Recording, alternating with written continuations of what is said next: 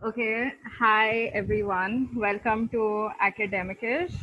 Uh, I'm seeing like a lot of new people. We're really excited about this. So I thought we'll just introduce uh, us briefly. I'm Sanchi. That's Rujita. Hi. And uh, so we basically began Academicish around two months ago, and we are a reading and discussion group focusing on works from the global south. Our main motivation was basically frustration with how Western centric our college syllabus, academia, essentially our general way of thinking about the world is. And this was one of our um, attempts at sort of righting the balance and focusing exclusively on works and authors and ideas and issues from and about the global south. We meet every week on Sundays at the same time, 4 p.m., uh, but our sessions are usually shorter, um, one and a half hours. And we pick out a reading, we send out a reading every week, and we have sort of an interactive discussion. Um, so if you, uh, the ones for whom this is the first time, if you are interested in joining our mailing list, we have a Google form ready. You can just fill out your details, your email ID, and we also have a Google group where we share relevant news items, links, videos, etc. So if you want to join the Google group, also there's an option in the form. And um, yeah, Rusa, you can talk a little bit about what we have planned next if you guys are interested in that. yeah. So um, we usually like this is our second month, even last month we sent out an email asking people for their preference of what they would like to do next month. So the we we have an overarching theme which we like to follow, and then we look at different domains within that theme. So the first month when we did labor, we looked at um, different aspects of labor within labor. So we looked at um, child labor, we looked at uh, I mean, prison labor, we looked at gender and labor. So that's usually the format we like to follow. So um, for this week's, uh, this month's theme, for example, was um, art and visual culture. And this is our last um, sort of week under that. So next week, like we want to hear from you what you would want um, to see or to read in the coming month, and then we can plan our week accordingly. And we also encourage people to send in readings that they think we could cover uh, if they have particular interests and things like that.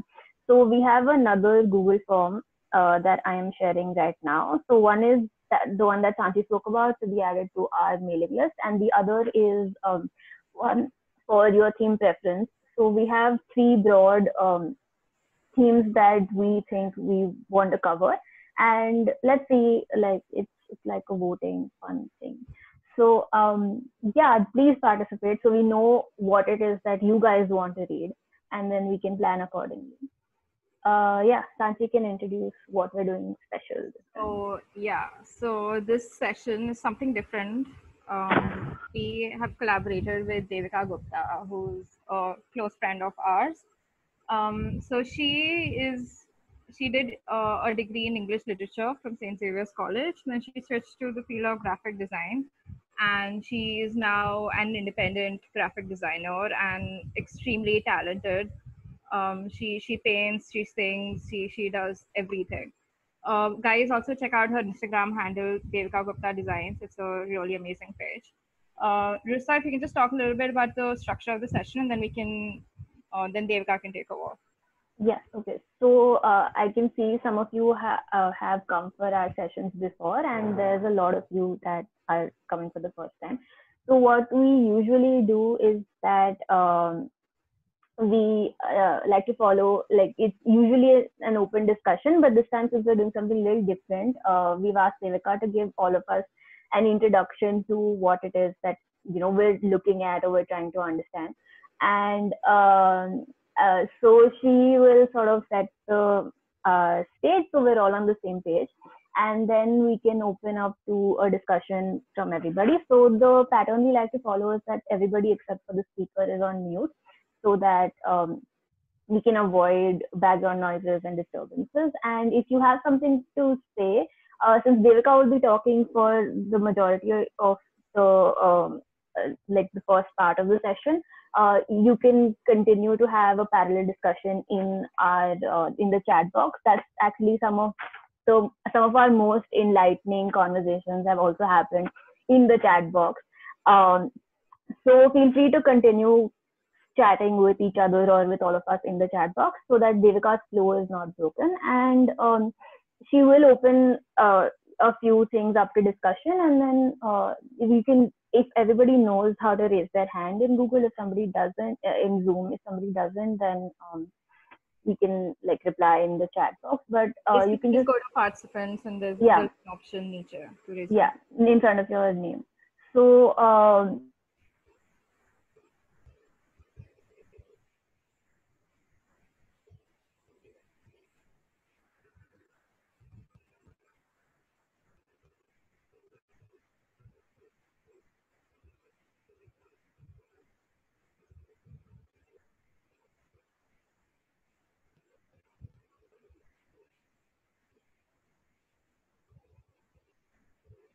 Uh, Rista, is it only me or okay? No, no your voice is back. In case someone. Okay. So we lost your voice in the middle. So if you could okay. just repeat the last point you made. Yeah. So I was saying that um, yeah, keep your points succinct, and if um, you so more of us can talk, and if you use jargon from a specific field that not all of us belong to, just use it responsibly so that um, just be prepared to explain it to everybody um, yeah, I think that's about it. Okay, uh, Devika. Yeah, I'm gonna switch off my video. Devika. Yes, me too. We just want to say hi. Yeah, hi everyone. yeah. Okay. Um, Devika, it's all yours now. Yeah. Yep. Okay. Hi everyone. Um, thank you, Sanji and Rujita, for your introduction. Um, I'm extremely excited about this session, and I hope you guys can have a takeaway from this. So I'm going to um, to start with, I want to get a little bit more into uh, my educational experience after I studied at uh, Xavier's. So um, I went on to pursue uh, a visual communication degree at the London College of Communication. Now, interestingly, uh, the London College of Communication was uh, initially called the London College of Printing. And by the virtue of that, I was exposed to a lot of not only digital, but physical printmaking techniques at university. And I took great delight in experimenting with some of these techniques, uh, like letterpress, linocut, lithography, uh, even monoprinting. Um, you guys may or may not be familiar with these, and not to worry, I'm going to uh, delve deeper into these through the course of the uh, presentation. And um, also the reason why I mentioned this is because it is relevant in the context of Satyajit Ray's works. Another key, um, key uh, important part about my uh, course and my experience was that I was uh, uh exposed to um, a very important aesthetic called the Swiss style, um, in addition to another whole, uh, whole different aesthetic called Russian constructivism. Now, um, these two uh, were also pivotal when it comes to Satyajit Ray's influences. So without further ado, let's dive into our discussion. I'm just going to I don't know why I'm not able to. Okay, all right, perfect. So um, I've uh, created a presentation for you guys, uh, hoping that uh, you guys can uh, actively engage with the artworks while um, I uh, give you a backstory on some of them and also on his influences. So um, I, this is a brief overview. Uh, I'm going to start with a little bit about Satyajit Ray, his key influences, also the time that he was born in, um, proceed like i'm going to then proceed on to his uh, mentors artworks uh, and what kind of influence they had on him. Then i'm going to move on to some of the printing techniques that he used in his works and uh, i am going to heavily touch upon uh, some of the physical printmaking techniques that i just mentioned to you guys. Uh, then i will address a few um, influences that i feel were absolutely um, integral when it come when it came to a lot of his graphic design work, uh, like Russian constructivism, um, Swiss style design, and uh, one of the offshoots of Russian constructivism was the Russian avant-garde film posters. So I'm going to uh, uh take you guys through these as well. Then um, we will discuss each of Satyajit, Satyajit Ray's uh, film posters in depth. And uh, we will also touch upon some of the other graphic design collaterals that he created, like magazine covers, fonts. He even developed an important logo. And uh, then we will end with uh, what the graphic design scene in India looks like today. Okay, so Satyajit Ray was born in a creative family. Uh, both his father and grandfather were pioneers and authors, and they owned a printing press. And Satyajit Ray possibly learned block printing and carving while uh, uh, he was working for the family. And it is also important to note that the time that he was born in, Calcutta was emerging as a cosmopolitan city, nurturing intellectuals and modernists which brings me to his education. Uh, he moved to Shanti Niketan to study painting at Kalabhavan, and the artists here were well aware of the prevalent mediocrity of mainstream art, and they completely rejected commercial styles, uh, and thereby they focused on cultural authenticity. Moreover, his tutors had a lasting influence on him. I'll uh, get into this a little bit more in the next slide. Lastly, at 22, he joined an advertisement agency called DJ Keymer, which at present day is the advertising giant Ogilvy as a visualizer. So he did indeed begin his career as a graphic designer. And I believe that this is where uh, he was exposed to the European aesthetic and trends, and these had a lasting impact on his work after this. Uh, one uh, one interesting aspect about this is that uh, he not only was influenced by this aesthetic but he also fused them with um, a lot of imagery from the locality he was living in so he fused them actively with indian motifs Okay, so moving on to his mentor's artworks.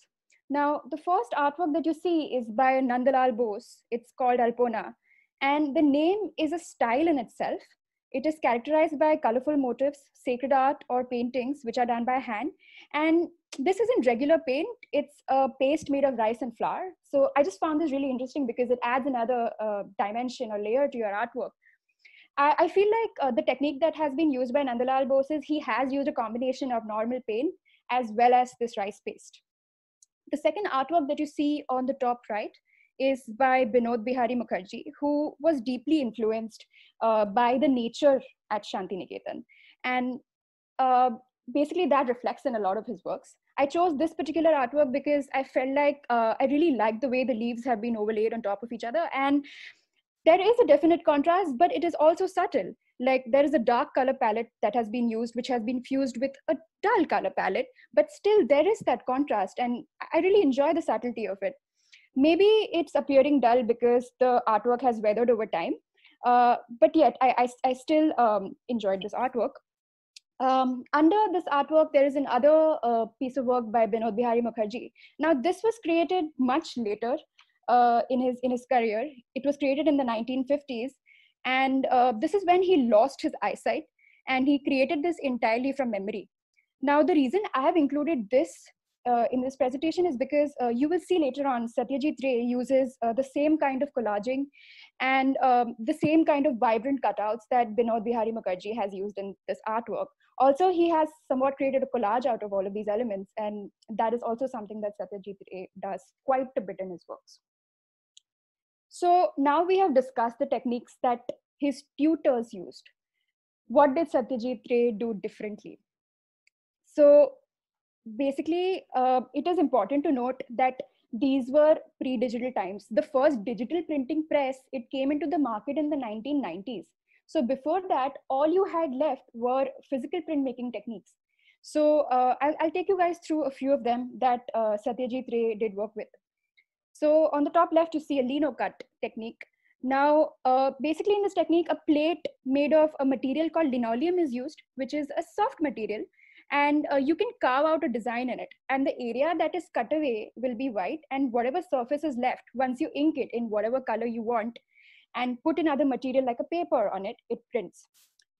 A woodcut right next to it is basically the same uh, mechanism, except a wooden sheet is used screen print, uh, now Satyajit Ray did not directly use screen print. He used something called silk screen printing because uh, at the time uh, when he was creating his movie posters, uh, the screen was typically made of silk. Uh, presently, it's not. Uh, it's it's it, like the word silk has been knocked off and it's just called silk. silk sorry, a screen print, and the material again is completely different and uh, what this technique uh, typically is uh, it's, it's it's a process of transferring a stencil design onto a flat surface using a mesh screen. Now the screen is perforated so that the ink it seeps out of the stenciled area. And the rest of the board is blocked using uh, a complicated technique. I'm not getting into that uh, right now but you guys can uh, learn more about it when you do a simple google search about screen print Now, uh, the technique right next to it is a lithography print. Now, this was used widely in Satyajit Ray's works. It basically relies on a, a metal surface which is directly printed on. So uh, essentially an image is created on this surface using certain mechanisms and then uh, a paper is, in, is put on the surface which sort of absorbs the inks and then that is transferred onto another material using a press so again it is a slightly complicated process. And uh, if you guys are more interested in it then you should definitely look it up. On um, the extreme right hand side i've included some pieces of artwork. Some of them are personal. I felt like uh, since i had already uh, uh, use some of these techniques it would be interesting for me to share them. So the first um, the first particular artwork this one that you see is uh, a lino cut that i created in university. And basically this is the kind of result you get out of this technique um, and the possibilities are endless you can use a multitude of colors you can overlay them on each other you can use a gradient based technique that is something that i have used here and uh, i included this because satyajit ray also uses a lot of folk motifs in his artworks uh, which I feel he was inspired by his tutor Nandalal Bose to do. Uh, so since I have also created some nature-based motifs here, I felt like it would be uh, nice to share. Under this artwork, this is a woodcut created by Satyajit Ray. And um, I, I, really admire uh, like the texture on it. So I felt it would be interesting for you, you guys to see. So basically this is the result that you get from this technique. And um, lastly, this artwork is a screen print that I created in university. It's a very simple one, but uh, what I like about it is that uh, I think this is the extent of uh, what I can zoom in. So uh, basically, um, uh, there, there are two particular rays which have been laid on top of each other. So that kind of effect is possible when you create a, a, a screen. Okay, so I just want you guys to observe these two posters at first glance, they seem similar, right? Let's condense them into their basic and most distinct elements. First of all, you see floating heads uh, with a very fixating, intense glance. And honestly, it pierces my soul each time I see it. Like I'm a little, little afraid of, of these posters, to be honest. Also, um, if you see the faces are in a variety of sizes, there's a definite contrast in the scale of the faces. Um, also, there is a repetition in this case that is used. Um, they are also juxtaposed with shapes which also follow more or less the same color theme. So the shades may be different, but you have this uh, striking blend of warm and cool colors. So you have like a very striking red, which has been uh, sort of complemented by this purple here, and in this case, blue. Uh, the titles across both are bold, distinct, and in white to sort of break the monotony of the other colors. And note how there's a gunman at the center of this poster. Similarly, there's a gun woman in this poster, and they're both in monochrome. Okay, not to hold the suspense any longer, the poster on the left is created uh, by Michael Dulach for the movie Yego Carrera. And this is a Russian avant-garde poster. It was uh, created as an offshoot of the Russian constructivist movement. And the poster on the right, as you can see, is by Satyajit Ray, created for his movie Pratidhwani. And a little bit of a backstory on this movie poster by Satyajit Ray. It is about the Naxalite movement in Bengal. And it is about a middle class man who is caught in the turmoil of social unrest. And he has to pick between his revolutionary activist brother and sister who had different beliefs. So even if you see the poster, it has these two very distinct sides to it, which possibly uh, also with different colors uh, which are such starkly like which of which have like the stark contrast which probably symbolize the two sides that he has to pick from now in order to understand a little bit more about the russian avant-garde poster and how that possibly influenced satyajit ray i feel it is important to understand uh, what russian constructivism is sorry this has gone really small Okay, all right. So yeah, it's important to understand what Russian constructivism is because it was ultimately born out of Russian constructivism. Now, uh, I've already mentioned when it originated. Uh, now, Russian constructivism was outright rebellion. It rejected all ornamentation in its design style. It aimed to reflect a modern industrial society and urban space. And they were the first to use photographs as a graphic element. And you may see a lot of similarities in these posters with the Bauhaus and De Stijl movements, which basically were uh, like they basically were born out of this movement as well, or influenced by this movement. um, aesthetically, uh, in the first three posters that you see, these three, you see a very distinctive triangular motif which is breaking the monotony of the rest of the poster. And um, this triangular motif uh, is present across um, Russian constructivist artworks. You have an interplay of big and small elements. So there are these smaller triangles which are uh, around this bigger triangle. Um, even it, it's not just it doesn't just limit itself to like uh, smaller uh, shapes which are identical to the bigger shape. Shapes you have other shapes also which are sort of um, uh, which sort of surround like the dominant shape. So in this case you have a triangle but here you have some other shapes uh, possibly resembling a rectangle which are sort of highlighting that triangular shape more. Even the, the way it has been designed it is to put the triangle in in, in the focal point and the typography seems to have a structure but it is still experimented with. So in my experience whichever poster that i have seen at least has uh, mostly has diagonal uh, diagonally aligned type. So again in this instance even in this even in this uh, even in this for that matter. So basically uh, uh, uh, it does not follow like the straightforward aesthetic. Things are skewed around and turned around which i find really interesting. And um, even even in terms of alignment it has a very strong sense of alignment because the title here the image and this name of the director have been all aligned very beautifully along the edge of this triangle. Um, even here there is a certain sense of system being fo- uh, being followed. Even here the these two uh, these two typographic elements have been aligned to the left. So definitely the system uh, does follow a grid and adheres to it but at the same time aims to make a statement and it aims to put a lot of contradictory elements together. Now, coming back to where we started, uh, the Russian avant-garde film posters. Now, how do these relate to Russian constructivism? I feel like uh, these posters do follow um, uh, some of the main, uh, you know, guidelines that uh, Russian constructivist posters follow. But at the same time, they take many more liberties. You may also see that uh, there are many more colors being introduced here. You have the red and black, sure, but you also have an overpowering yellow in this case even here in terms of typography even here. You also have a lot of blues and oranges come in. And i just feel overall it's a quirky style. Um, uh, it does follow elements of russian constructivism in the sense that it still has photo montages so you do have pictures in all the posters. Some of them are stylized as illustrations as well. But in this case it's uh, it's like a photo again there's this sense of disjointment and i just really like the way the typography also is interacting with it in the form of concentric circles. So it's experimental in the sense even the perspective in this poster is uh, wonderful. Um, so um, definitely i feel like this style is is a quirkier version of uh, russian constructivism.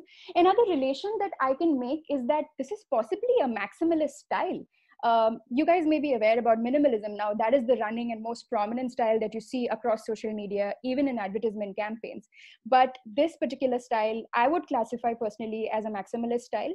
Uh, because it has too much going on. You have too many elements. Even in this poster, you have like somebody possibly uh, take going going for a dive and you have somebody throwing a javelin here you have somebody cycling. So if i honestly if i get a brief like this i would be taken aback because i wouldn't know how to approach a, a topic like this uh, and you know sort of still uh, maintain a balance between the elements. But the pioneers of uh, russian avant-garde film posters they did it effectively because you can see a sense of balance across these posters even though there is a lot going on Okay, that brings me to um, the last set of influence that I want to discuss in relation to Satyajit Ray. Now, I'm aware that he may have been influenced by a number of more aesthetics, but for, for the purpose of this presentation, uh, I, I, feel like this would be the last one that I'll discuss.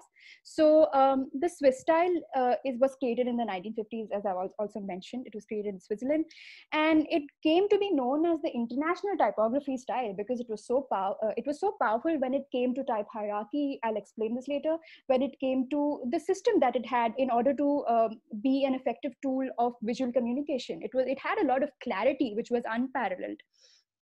Now, this style typically has um, elements which are methodically placed in a grid and everything is aligned, eh, you know, in response to each other. So basically what I mean is, even in this poster, you see like there is this grid where certain units are aligned in relation to each other. the title is also aligned to this unit somewhere. So basically, that's what I meant um, in a nutshell. Uh, also, these posters have a very uh, very strong sense of type hierarchy. Now, what I mean by type hierarchy is that it's basically a system which guides your eye to the most important element in a piece of uh, graphic work, and then it is guided to the least important element. So, in all of these posters, in, in this particular poster, you see the title Giselle first, and then you move on to the other information. And possibly the picture is something, uh, again, this is subjective, but the way I see it, I see Giselle first, I see the information, and then I see the picture. So you may see it in different ways, but I feel like the title is something that definitely shines through. And um, it basically this post, all of these posters for that matter, they follow the strong type hierarchy, which is why they are successful pieces of graphic work. And um, Satyajit Ray does use uh, this particular style in his artworks quite a bit, in his poster artworks, also in the magazine covers, which we will discuss. Okay, so I want to put side by side these two posters uh, like I did before. Um, the left one, of course, is again a Russian avant-garde film poster and the, and the poster on the right is by Satyajit Ray. And the poster on the like the Satyajit Ray poster, uh, like okay, fine. Before I delve into this, uh, I want to point out the similarities. You guys may have already identified. The colors are identical. Even uh, there's like blacks and yellows, but there's also a little bit of um, a red touch. Um, there are monochromatic images present both in both these posters but I actually do want to delve deeper into the Shatranj Ke Khiladi poster.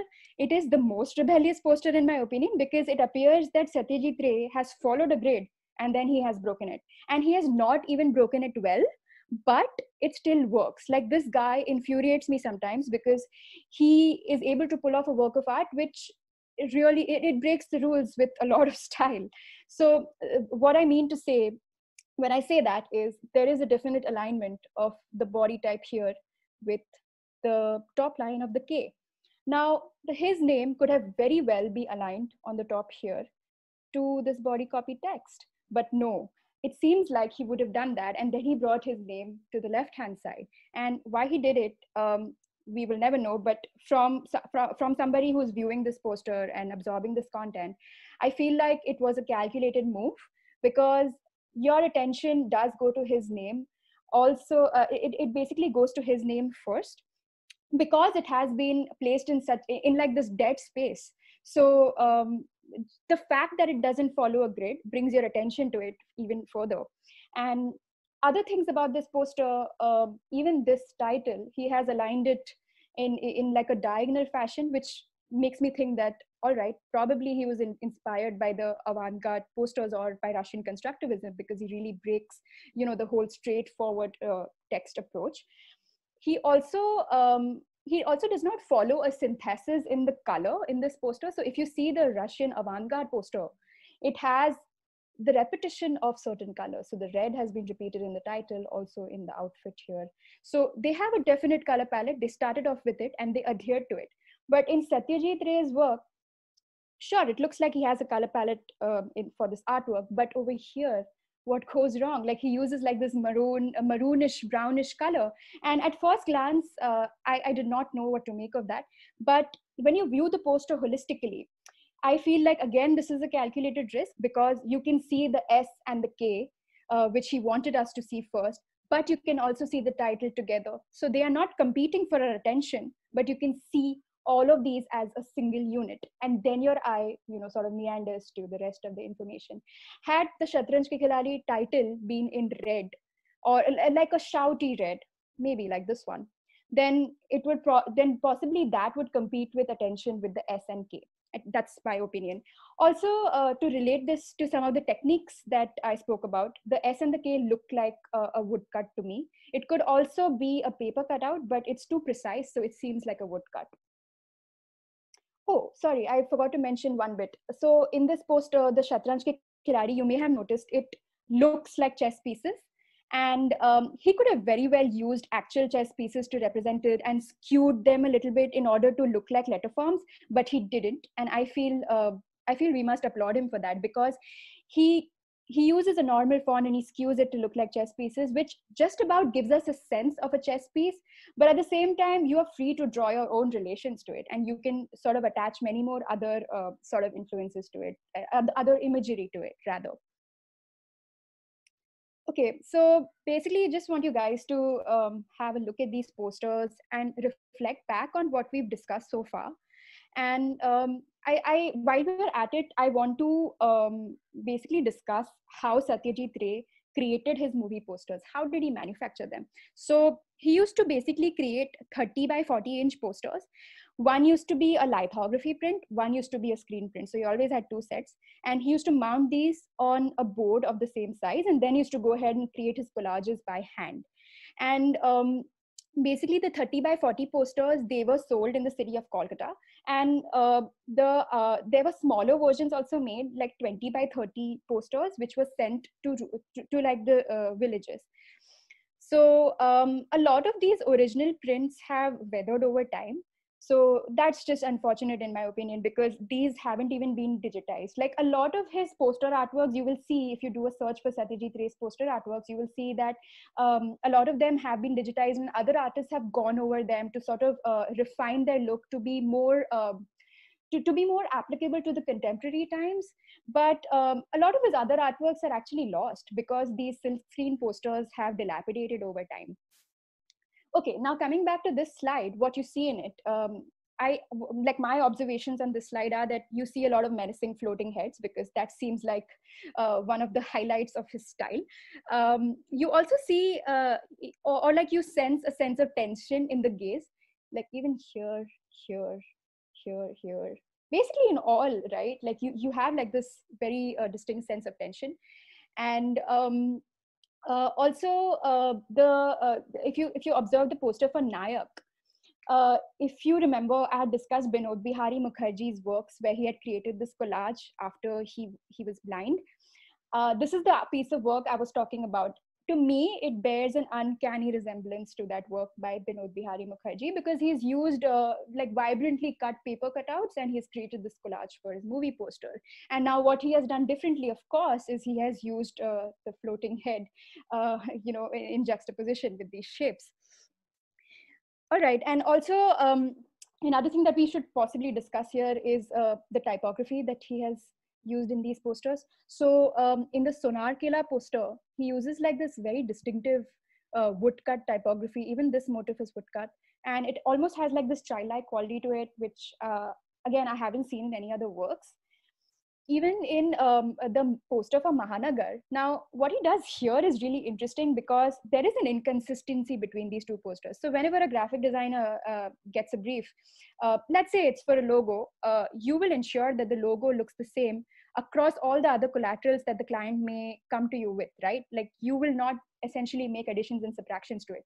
Now, similarly, for a film title or for a film poster, you would want to have uh, uh, the same brand identity uh, maintained, right? Like the same uh, the same look and feel of the movie maintained. But no, Satyajit Ray broke from that. Evidently, the title in this movie poster is it's, it's the same typography here, but the style is different. It has been cut apart here over here it is more coherent but at the same time what i really like is that um, uh, it, it holistically it does look it does bear a semblance to uh, to like they do bear a semblance to each other again this is something that satyajit ray pulls off with a lot of panache also the kind of techniques that he uses across both like this has a photograph this is an illustration so he did experiment it he sorry he did experiment with a with a couple of techniques and I, I, think this probably also goes back to what I discussed about him creating one silk screen poster and one um, lithographic print poster. Probably this was a result of that. Okay, so let's get into uh, some of his movie posters, iconic movie posters rather, in depth. So this is the poster for Pather Panchali. A lot of you may be familiar with this movie. It is an incredibly famous uh, uh, movie it centers around the childhood of uh, the protagonist Apu and his family and their harsh, difficult rural life. And in this poster, you see a doting mother and sister with Apu. And um, what I really like about this poster, uh, most of all, are the motifs that Satyajit Ray has drawn by hand. Again, these are the folk motifs that I was talking about. Uh, this one is actually Lakshmi's footprints, which I found really interesting. Um, so I believe this was his first few movies. He so he didn't do anything much to the photograph, uh, as opposed to like the previous slides that you've been seeing. He creates like these photo montages where he cuts apart heads and all sorts of stuff like that. But here, uh, he has used the photograph possibly as shot, and um, I just find that really interesting. But at the same time, he has added his own touch to it by adding these motives to it now around this photograph you see uh, this frame. Now this is interesting because this frame is actually created in, in an alpana style. Now um, I'm, I, I don't think that it was created actually using a rice paste but it bears a semblance to a lot of motifs which were used in uh, alpana style art. So this again goes back to the fact that he was heavily influenced by his mentor nandalal bose even if you see the typography, it is structured, it is straightforward. He hasn't really experimented much here. It's like a simple, straightforward uh, uh poster. And maybe like uh, we can we can talk about his like uh, choice of the circle. Like to me it seems like it symbolizes the circle of life. Uh, but it's also it also symbolizes harmony in many ways. It could also be a massive sun because like you have like this alpana artwork which has like these rays. And maybe like this this little unit that you know envelops the family. So all in all an incredibly uh, touching image. This poster is for another movie of his again another popular movie called Ghare Baire. And it's about uh, it's basically uh, about a woman who's torn between two worlds. And um, I, I would say that this piece of work is a truly uh, genius minimal piece of work because he relies completely on negative space to uh, prove his point and he's just used uh, he's actually used a constructivist color palette here if you guys uh, form the relation uh, he's used a distinct jarring red and he has put it against a black and there is a little bit of white and also, um, uh, note the fire motif Again, this symbolizes the dangers of her uh, possibly stepping out into the world outside her home. Um, also, notice the glass painting on top. This is again somewhere a place where Satyajit Ray broke the rules because though the painting, uh, all in all, seems like a structured unit, the pattern is also structured, but the coloring is not. Over here the alternative color scheme has been broken. And to me uh, again it was unsettling at first to see it but um, i feel like this aspect makes the poster memorable for me because like there's this unsettling quality to it. So i would just keep going back to it. That's how my mind works also an interesting part here is that the woman um, is a silhouette so you don't see her expression or you don't have any any other visual cues about her state of mind. So one wants to actively you know after looking at the poster one wants to watch the movie to see you know uh, how, how things pan out. All right so this is a poster for Charulata now this movie is typically about a lonely woman. She's interested in arts literature poetry and I feel like the poster reflects that effectively because it uses like some of Satyajit Ray's hand calligraphy. And ultimately, she falls in love, uh, for, uh, falls in love with her brother-in-law in the movie, and basically they can't, you know, sort of uh, progress on with that because of like the complicated connection. She's his brother's wife. So basically, that's the backstory coming to the poster um, i feel like uh, you know drawing from the context uh, there's this woman's uh, caricature who's possibly looking to the outside world you know yearning for more finding her place in the world. And i feel stylistically uh, this is where satyajit ray's uh, fine art background really shines through because of these confident calligraphic strokes. Uh, graphically if you see the title of the movie has been skewed. It has like these beautiful swashes to sort of tie it with the flowy calligraphy artwork and also the bindi motif that has been repeated in the typography as well. So those are some of the interesting bits about this poster that drew me. Now, uh, this particular movie poster, uh, again, is a very strong one. Uh, Satyajit Ray created the movie Devi to address religious dogma. And uh, basically, in the movie, the protagonist believes she's a goddess and she gets swept up by that notion. Um, I have multiple feelings about this poster, but I want to open this one up for, uh, for a discussion uh, I would love to know what you guys uh, think about this poster. And for a change, uh, not hear me rambling on and you know interact with this piece of work. So yeah, if you guys have something to add about this poster, your take on this poster, you can just uh, raise your hands. yeah. Um, and unmute yourself. And uh, let's keep it short so we have like some other slides also to get to.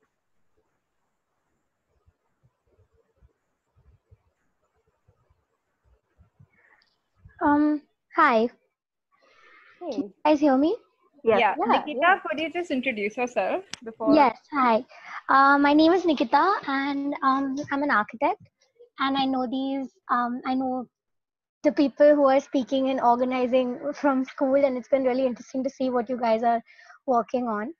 Um, really interesting observations about all of the posters before this, and I mean, considering the background that I'm coming for the, from, the thing that stands out for me most in the poster is the fact that the text form seems to have um, the Indian architectural um, form with the floral sort of arch thing happening, which mm-hmm. sort of makes it look like the gateway into a temple. That's the first thing that comes out to me. That might be because of my background.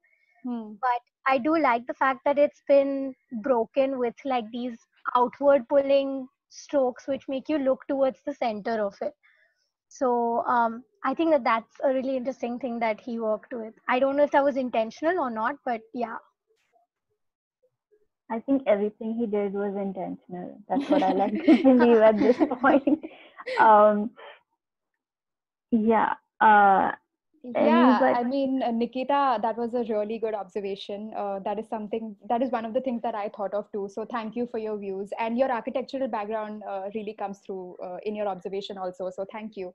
Yeah. Mm.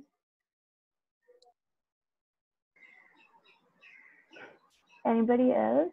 Yeah pallavi huh. you want to go ahead? Actually like i cannot uh, aesthetically i don't know what to uh, what exactly to say but i just feel that all his posters are just like just talking about some breaking some norms or something. Like they have no uh, there's no uh, equal balance in anything. And it's just like every time i look in uh, look at the posters they're so uh, free first of all and uh, it is that uh, there's something more that he wants to say and that's why i think that uh, the posters are so interesting that uh, i'm sure that even by uh, through whatever he's trying to show and uh, the movie itself becomes more interesting for people to see as in because the poster is so strong and mm. free yeah. I think yeah. this might be the first one where there's actually a stronger sense of symmetry, uh, symmetry, symmetry, mm-hmm. um, broken off with like a really slight break. Otherwise, if you look at the poster as a whole, it feels symmetrical, and then yeah. the sh- the text, the main text that you're supposed to look at, is just slightly shifted off of the axis. Yeah, yeah. it's very unsettling. I mean, the like the mm-hmm. text and the face is just completely detached. That that actually creates a very unsettling effect. Yeah. Uh, Shubhi, your hand is up. You can unmute yourself. Yeah, I also thought that what we said about the design of um, the typography looking like an arch was significant, but it also hit me very strongly that it looks like a gunshot wound. Mm. And hmm. that's very unsettling, or like a drop of blood fallen because of the way that it sort of spatters outwards. Yeah. And that was very unsettling to me as well. I think that's also interesting. Like when we were discussing this earlier, we were also talking about how, um, you know, like the goddess Kali, like she has usually a bowl of blood or things like that. Um, and so the Devi, like the text looking like blood, might actually also be on purpose. Like we actually yeah. don't know. yeah but another thing uh, sorry another thing that we can uh, possibly debate is uh, debate on is that what if the color of the title was changed?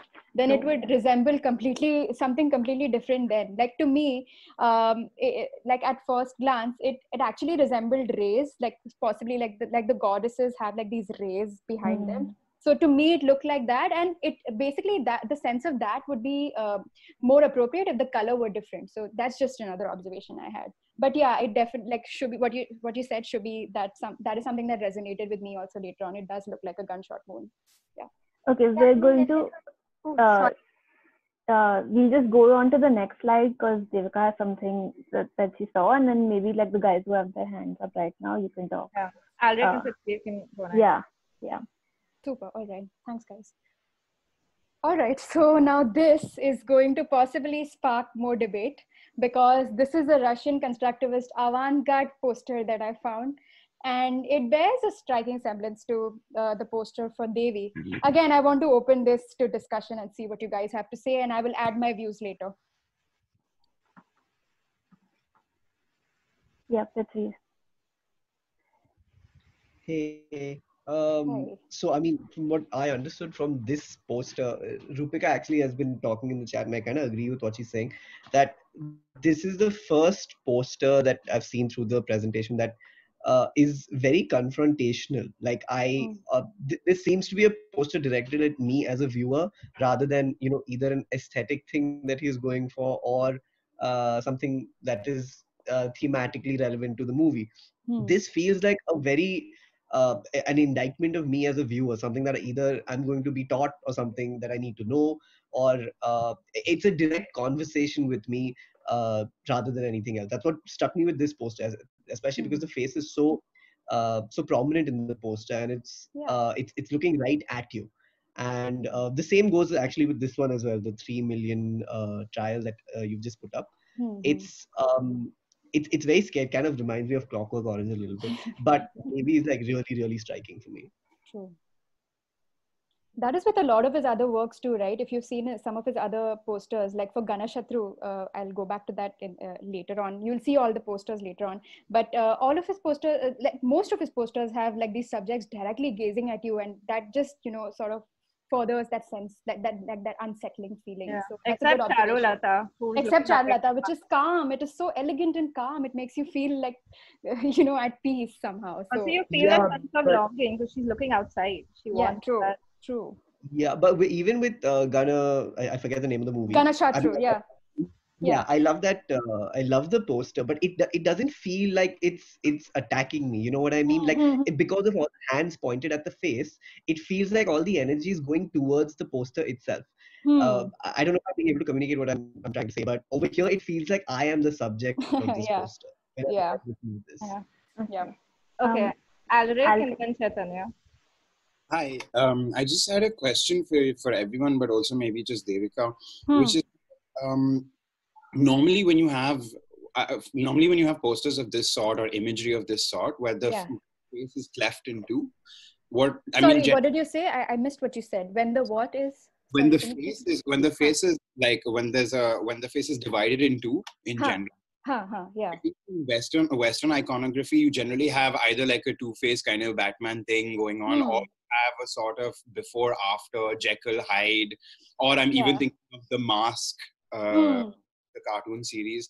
And there's always like there there's always a distinct there's always a distinction. Either the contrast is either a before after one, or the Hmm. contrast either there's more. There are two sides to the same coin Yeah, yeah. when you look at these two posters, this is not really prominent except for in the Russian one the birthmark and the and uh, and in the Devi poster the nose ring. So I don't know if Hmm. you had any thoughts on that or whether you think that's a sort of Western construct or like European or American sort of thing or I don't know. I don't know where I'm going with this, but it's more like I'm throwing. I think you understand my question. Yeah, I do. I do. You know what, Alric? Frankly, I have never seen a work of art like this. I have never encountered uh, a work of art that has been slashed in the middle of the face, uh, like in both of these instances, which is why it captivated me uh, very much in the first place. So I don't know if I can uh, really answer that question for you, but uh, I think one of the other things that you had mentioned uh, was that okay, is it like a before after? So I, I can elaborate on that in the context of the movie Devi because uh, if if you look at the storyline, uh, there is a very distinct phase where uh, she where, she goes from being normal to somebody who is swept up by the idea of being a goddess. So I don't know if that uh, answers your question effectively, but I feel like that is what they are trying to show in this particular poster. And as for me having seen it in the Indian context, also I haven't seen it in it ha- being done in any Indian film poster. Like, correct me if I'm wrong, guys, but I have never encountered a piece of uh, work like this.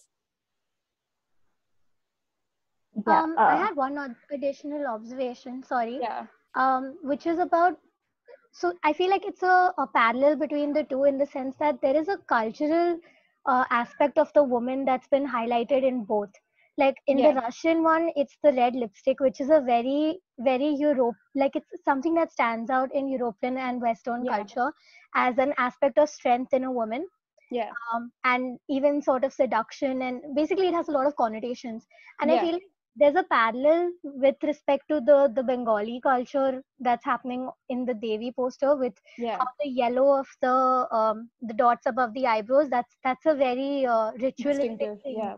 Yeah. that that's done and the red bindi in the middle is also something that's a very strong component of of how women dress and portray themselves in the culture i I unfortunately don't know enough about bengali culture to know the significance of it but Hmm. i do know that it's culturally significant and i i think that that's also really interesting of how that um the thing to highlight changes because of the culture that that's being spoken about Yeah. Uh, good observation. Chaitanya, I think you had your hand up. Sorry for some time. Um yeah, um, well, Alric already made the point I wanted to make, so my uh, so um, my question has been addressed. Um, but yeah, like it's a really interesting um, presentation because I usually don't observe these things at all, and now that all of you guys are talking about these things, I like you know th- th- this there are so many details in just a poster, and it's just amazing to know all these things. Yeah, thanks. Yeah, I mean, I just want to uh, bring up one thing I've been talking about uh, since Devika brought up the Russian constructivist um, uh, connection. I've been reading a lot up about them, and essentially, the since the industry was nationalized, the designers were making so many posters, and they used to put in like you saw the posters. It, it there was a lot of effort that was put into every poster. Uh, for something that they knew was going to be uh, taken off the wall and torn about and like in a week or so right? Uh, and if you think about it even satyajit ray puts in a lot of effort for um, a poster which actually like people i don't know if people really look at posters and decide whether they want to watch a movie or no.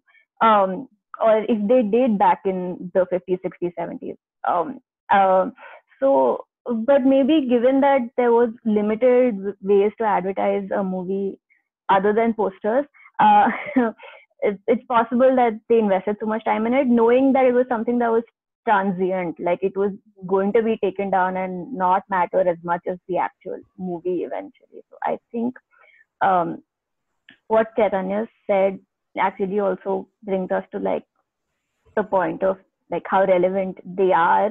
Uh, but given that people invest so much time into it um, Meghna, you have your hand up. Yeah, Meghna, and then maybe Devika, you could Yeah. like wrap up this podcast. Yeah, Sure. because we have more stuff to get. So, uh, hi everyone. I just had like an additional point to uh, what someone said before about how they've highlighted the lipstick in one poster and the bindi in another. And I think that brings us to one of the contrasts in the poster. Uh, what to me is one of the bigger contrasts, which is where the title of the movie has been placed and the color that's been used for it. So here uh, in Devi, uh, the color is red and it's been placed at the bottom because the bindi is at top, uh, you know, and it's the same color as the bindi. Whereas uh, in the Russian poster, it's got the color of the background, it's not the color of the lipstick, Yeah. and it's been placed at the top. Uh, I suppose they to show the in the two men at the bottom, but also I think um, because the lipstick's at the bottom of the page. You know, Meghna, that's Yes, an that's all. interesting point because red lipstick also has certain cultural connotations, right? If you think about it, like in the Western context, red lipstick is something that's empowering. Um, but in the Indian context, red lipsticks are seen as something that's like suggestive Mhm. and you know like provocative. Yeah. And then like certain aspersions are cast on the woman's character. And Yeah, and a bindi is, does not serve the same yeah, function as a yeah, yeah. So yeah, that's an actually interesting point because you see, even in this pre- uh, previous poster that Devika shared, um, when she compared that with uh, like the first slide, uh, um, that the woman had a really bright red lipstick, and here too in this Russian poster, but you don't see it in the Indian poster. So yeah, that's a that's an interesting point. And I think uh, one comparison I wanted to make to the very first poster that Devika showed us, the two Hmm. posters, uh, where you had these two colors going. And Yeah. uh, Um, I forgot the name of the movie, but it was about someone choosing to be with. Vandi. Yeah. Yeah, exactly. So there he uses the same colors, although they're placed differently. Red comes on the Hmm. other side, and they're solid. So they've got Yeah. this contrast. But in this, they're kind of blending together, and I think that the red bindi adds to them blending together Hmm, hmm, because hmm. you can't really make it out focus on the red bindi, right? Unlike the red lipstick, which is uh, it's uh, very yeah. obviously uh, yeah. wrong. right. Thank you so much for that. Um, another uh, point of contrast between the two posters that i observed was the poster on the right is evidently a photograph and the poster on the left can be confused for a photograph but it is not. It is actually an illustration. If you go deeper into it it, it almost resembles the cubist aesthetic so that's another thing. Like initially even i thought that okay these are two photographs. And in my head uh, i felt like okay satyajit ray was closely influenced by this particular piece of art. But now that i think about it i feel like okay it is entirely possible for two artists in you know basically separated by many oceans to come up with um, uh, an idea that is uh, this similar. And also the fact that uh, there are two very different techniques at play here. So uh, that that you know sort of uh, takes the idea that maybe this was a completely you know original idea that Satyajit Ray came up with. So basically, yeah, let's let's move forward. All right, so uh, Satyajit Ray's uh, graphic design expertise did not end at movie posters. He also created magazine covers, very interesting magazine covers at that. And uh, these were created for a magazine called Ekshan Magazine. And um, interestingly, uh, these were helmed by Saumitra Chatterjee. He was uh, Satyajit Ray's most loved muses for his movies. And um, now the style that he uses in these uh, magazine covers to me it resembles the swiss style aesthetic the most because it is more minimalist in a sense. It has a system. It has it has a definite system in place. Um, things are not haywire. Things are not random.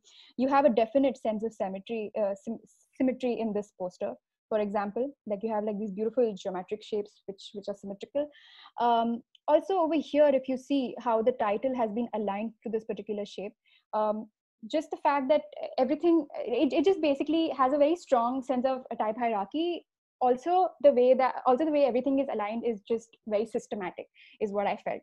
Um, he does use a more constructivist color palette here uh, like the reds and the blacks so he hasn't completely strayed away from that. He has used it in like a smaller capacity. Those the, though these appear more dull again maybe because they have been weathered over time. But uh, that being said i still feel like these are um, some of the more minimal works of his also um, uh, before i proceed i feel like here also his calligraphic style really shines through uh, these seem again like woodcuts or paper cutouts and it's his own signature uh, typography which brings me to his fonts now satyajit ray created his own fonts he came up with the font called Ray, Ray Bizarre, Ray Daphnis, Ray Roman, and Holiday Script. Now, before I get into a little bit about these fonts, I want to explain the four main type families uh, that exist. So um, there are uh, sans serif fonts, slab serif fonts, script fonts, and serif fonts. Now, what are sans serif fonts? Basically, these fonts do not have any ex any extra embellishments at the end of the letter forms. It's a very straightforward font, uh, which is very clean, and it it is used effectively across film titles. Even if you've seen the Russian constructivist posters, and some of Satyajit Ray's works also, they use a sans serif font. It's basically very clean um, kind of uh, look and feel. Uh, slab serif fonts have certain um, li- quite literally slabs at the end of uh, each letter. So if you see there's a slab here, there's a slab here. And basically, uh, in a sense, they are more bold than sans serif fonts are. They make more of a statement. Again, these are ideal for posters, uh, especially if you have like a strong title to which needs to shine through. Then there are script fonts. Now, out of all the other fonts, these are the most unreadable. Uh, they are not ideal um, to be used across every collateral, but um, at least like in my experience, I have used them. Um, even you, you, you guys may have seen uh, in wedding cards, you will see like a more hand-drawn kind of font uh, used in certain places there. But that being said, the body copy will not always like it. It'll almost never be in this font because it does not have uh, uh, that much clarity and readability now uh, the lastly lastly we have like serif fonts. Now these fonts have a certain um, sorry my screen is doing weird things but it it has a certain um, ornamentation at the end of the letter forms. But it's different from slab serifs because uh, they are not slabs they are more subtle. And uh, generally serif fonts are ideal for body copy because they guide your eye effectively from line to line. Now, um, I could have easily used a serif font through the course of this presentation, but I haven't. I've used a sans serif because even I wanted to be a rebel like Satyajit Ray. But uh, so, so basically, uh, what what I mean to say is that um, there are certain rules when it comes to typography. Generally, one must use um, a serif font for body type. You must use, uh, let's say, a sans serif for for a title. But uh, that being said, you can break the rules provided uh, provided uh, like in my case i knew that this particular font had good readability still so i used it anyway. So basically one must ensure that uh, you know the purpose is met. Now um, getting into some of his fonts. Now Ray Bizarre um, looks like a sans serif to me. Daphnis also even ray roman. Holiday script you guys may have guessed it's a script font. So uh, basically that's it on his fonts. Feel free to look them up and uh, read a little bit more about them. All right, so um, in addition to all of these other things, uh, Satyajit Ray also created the logo for Sahitya Akademi Award. And I just find uh, the way the word Sahitya uh, has, like the way it has been warped, really interesting. And holistically, it resembles a goblet of fire, or it could also be like an award so i really like you know the overall uh, look and feel of it. Also again he uses negative space really well. Uh, my slide is like a beige color so you see like a beige but actually uh, i mean it, the way that he used it and the way the Sahitya Akademi uses it is that you see like white space and basically like the red shines through. And um, also on top you like you see like this little flame. So again it's like a very subtle uh, kind of indicator to fire. And here you see a massive S. So I just felt like this was genius. Um, I think he did intend for this to happen. As Rujuta said, everything that he does is intentional. So um, yeah, so basically this is uh, the Sahitya Akademi logo. Uh, what I also think, uh, what I also feel about this logo is that it has a contemporary look and feel to it. Like it could have very well been designed in the present day. Um, so again, it's like a very different piece of art in in that sense.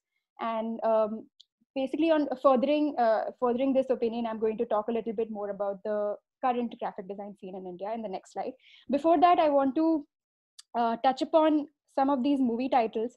I felt like they could work as logos in themselves. Like just the fact that his movie titles were so were such strong units now what i mean by strong unit is that here the fire and the title interact so beautifully even here you have like the gun which has been sort of injected into the title I feel like just this quality of his where he creates like such robust, strong movie titles, they can easily work outside of the movie poster as a unit on their own. Even like the sense of like the two fishes here, even the Mahanagar movie title. So, so yeah, uh, that's basically what I wanted to touch upon. And um, all right, so uh, we'll end with the graphic design scene in India. Uh, now, there is a lot to be said about this. A lot of you may be, uh, you know, update, uh, like basically may keep yourself updated uh, about this topic, and you may know there's a lot to be said here. But I have put some notable examples that I felt uh, I connected with. So there is something called Ektype Foundry, which is a collection of type designers who create regional contemporary Indian typefaces, and basically they gather all these typefaces on their site and they sell it or you can download it for free. So they do an incredible job in preserving our linguistic culture. Uh, the poster over here is by uh, Sameer Kulavoor. I, maybe I, I, would say, like I'm calling it a poster, but I think it's just a print that you can sort of get off his website. Um, wh why I chose this particular piece of art is because it has photo montaging in the way that Satyajit Ray also used. It has like this black and white imagery. It has a sense of negative space. It also has like this pop element. It has this like neon yellow, which has been used throughout it. Again, and the look and feel is like local. And Sameer Kulavoor is like I think I would say he's uh, he's at the forefront of the graphic design uh, industry in India, and he's again based in Bombay. So do look him up. Lokesh Karekar is another designer who's based in Bombay, and he uses a lot of physical and digital printmaking techniques also in his artwork. So over here you see like this this artwork of uh, it, it pertains to Kochi so uh, basically that's like the theme of the artwork. And what i found interesting is that it uh, it does look like an etching to me. Like etching is another printmaking technique that you can look up. So again it's not a digitally produced uh, piece of work. It is a physically produced piece of work. So i just feel like these artworks uh, are related to the world of Satyajit Ray because they are influenced by some Western techniques. They are influenced by uh, photomontaging in this case, um, the use of negative space in this case, even the way the typography has been arranged. All of those ideas are influenced by the European aesthetic, but they make it their own. The subject and the content of these posters uh, or these creatives are uh, are local. So uh, basically, uh, I feel like you know a lot of designers even today are are doing this uh, and they are thereby preserving the uh, the legacy of uh, Satyajit Ray. And they say print is dead, and they usually mean it in the sense of digital print. But I feel like uh, traditional print is also not dead; it is actually making a comeback, and these designers use it effectively. So um, basically, that's that's all I had to share with you guys. Thank you so much. Thank you so much, Devika. This is really great.